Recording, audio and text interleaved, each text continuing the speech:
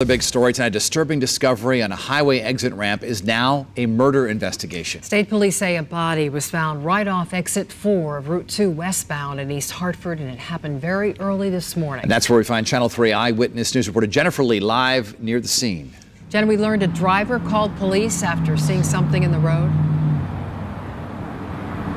Yes, Dennis and Denise, people say it would have been so alarming to be in that position. It happened right here on this exit ramp. There is very limited information right now. State police say all we know about the victim so far is he is a black man in his late 20s or early 30s. This is the swarm of police that first responded overnight on Route 2 exit 4. State police say the 911 call came in around 3:30 a.m. The original call was made by a uh person driving in the area.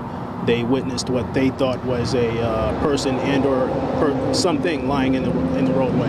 Called it into uh, 911 and uh, we later had DOT workers in the area that I actually identified the fact that it was a, uh, a person lying in the roadway. Eyewitness News got to the scene shortly after. A major crime squad van with detectives marking the spot where the body was found. The exit 4 ramp was closed into the morning for nearly seven hours as police continued canvassing the area for evidence. I have to be at work at 6 in the morning. Um, I get off exit 4, Route 2, um, Great River Park exit.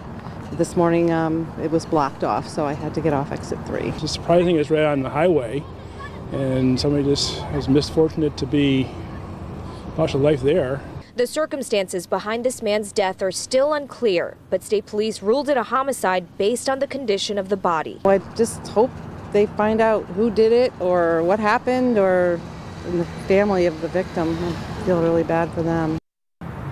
State police are looking to track down more information and any details. If you have them, you can contact State Police Troop H in Hartford. Reporting live in East Hartford, Jennifer Lee, Channel 3 Eyewitness News. Okay.